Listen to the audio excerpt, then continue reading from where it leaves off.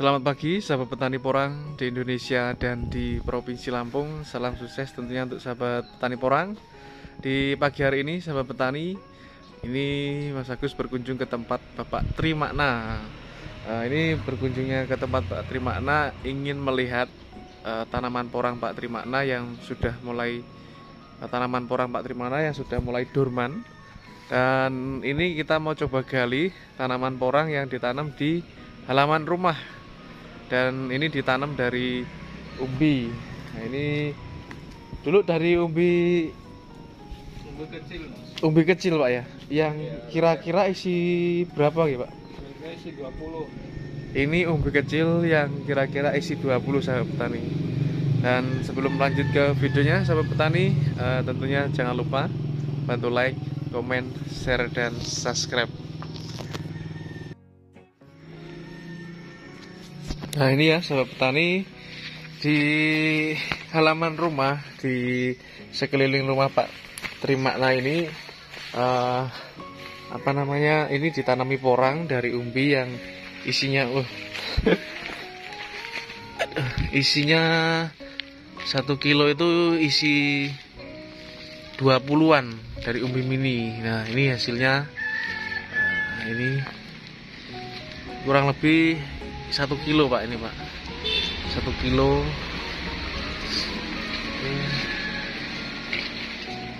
Kayaknya yang paling besar kemarin sebelah sini ya pak. Nah ini halaman rumah seperti ini aja sudah menghasilkan uh, porang sahabat petani.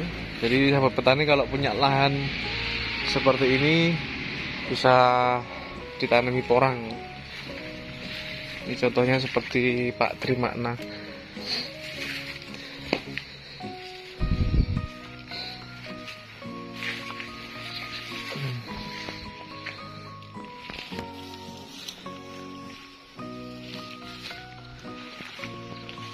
Amit Pak, kalau sing bongkar mawon Pak. yang ini mungkin Pak. Oh, itu udah hilang batangnya.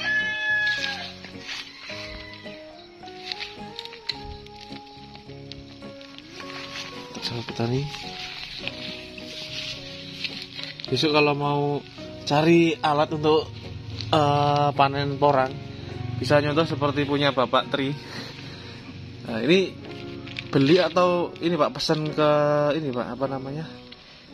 Wah, tukang las itu ya pak ya? Apa namanya? Ini ini dari apa? Gantiin punya tukang bangunan.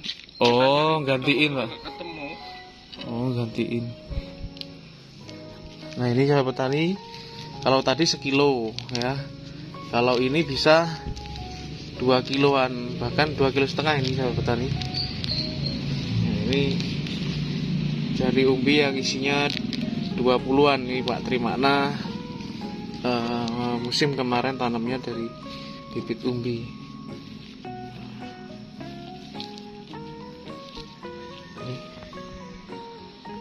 Kurang lebih ini dua setengah kilo sahabat petani lumayan. Dari sini ya. Dari sini sampai ujung sana. Habis itu di samping juga ada. Jadi sekelilingnya ini tanaman porang semua sahabat petani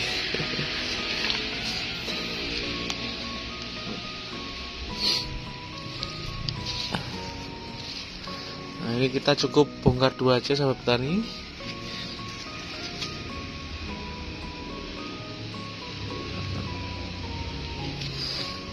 Katanya pun dipanen sedanten nih pak. Tapi ya satu dua masih ketinggalan kan terutama kata mini sahabat petani.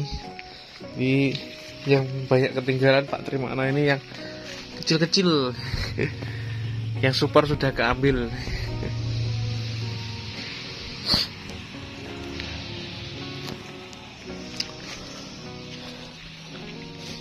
Nah ini sebagai gambaran untuk sahabat tani porang. E, Porang ini sangat mudah dibudidayakan. Oh, Ini kayak besar pak. Mantap ya. Kelihatan. Kelihatan ininya pak. Dari luar nah, eh, mudah dibudidayakan dan kalau punya sahab- sahabat petani punya lahan seperti ini bisa dimanfaatkan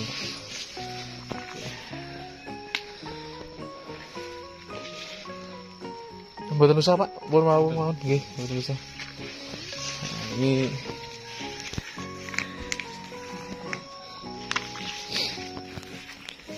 Ini tahun ini halamannya Pak Trimakna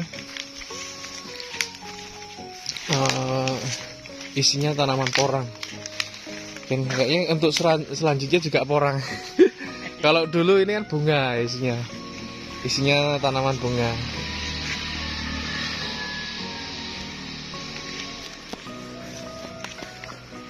Dari luas satu setengah hektar kurang lebih punya Pak Trimakna. Nah ini halaman rumah ini juga ditanami porang.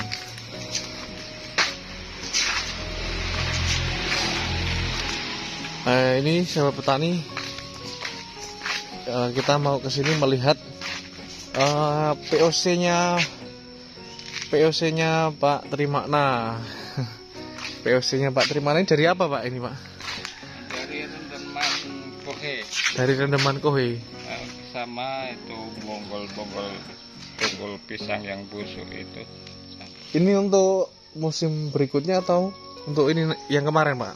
ini untuk kemarin ini sisa-sisanya enggak ini Oh, bulan. sisa-sisanya. Jadi bonggol ke apa tadi Pak? bonggol pisang Bonggol pisang. busuk Iya, terus dicampur kohe kohe. Berapa hari Pak mulai bisa digunakan untuk jenengan ini? Eh, saya kan cuman eh, ya uji coba belajar sendiri ya antara dua minggu itu saya ini kan siramkan Dua minggu disiram Pak ya. Bisa dipakai lah Pak ya. Jadi dari kohe kambing sahabat petani dicampur dengan eh, batang pisang yang sudah mulai busuk.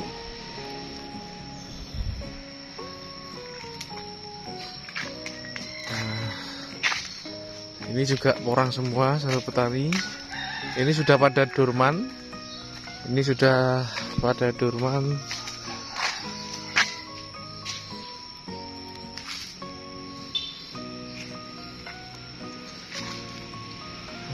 Luar biasa. Nah, ini bisa dicoba untuk sahabat petani porang.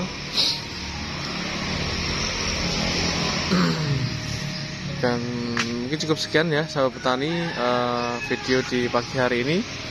Di halaman rumah Pak Trimakna nah, kita berbagi tanaman porang dari bibit umbi isi 20-an dan tadi kita coba bongkar hasilnya ada yang satu kilo ada yang kurang lebih dua kilo setengah Oke, sahabat petani, terima kasih yang sudah ikut nyimak eh, di video pagi hari ini.